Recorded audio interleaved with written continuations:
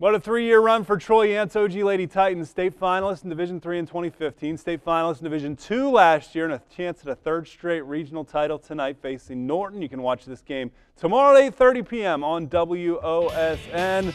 OG girls, all business and ready to go. They strike first. Erin Kaufman hits the deep two from Mansfield, the home of the TY Tigers. Then it's Katie Hempfling stepping into the open three, and she drains it. Knocking it home. More from OG as Hempfling finds Kylie White. We've done this many times. It's 7-0 to start for OG. Norton gets on the board with a foul shot, but it's Hempfling again down low. 9-1 Ottawa Glandorf. You see all the blue and gold in the stands. Norton making a little run, but it's Hempfling showing off the ball handling skills behind the back. Spin move dribble, 11-9. Titans later. Ashley Schrader gets it on the break and finishes 13-11 OG.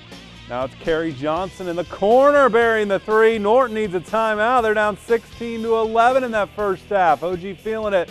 Lexi Schrader will give and go, and she lays it in. 18-11, another Norton timeout.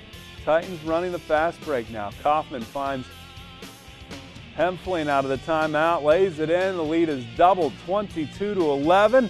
Later, it's Lexi Schrader shredding the defense. Tough shot on the spin dribble, 24-13. Norton would hit a three to cut it to eight, but OG wins. They're headed back to Columbus, 51-34, as Hempfling did a little bit of everything. Kylie White, 12 points as well. So here's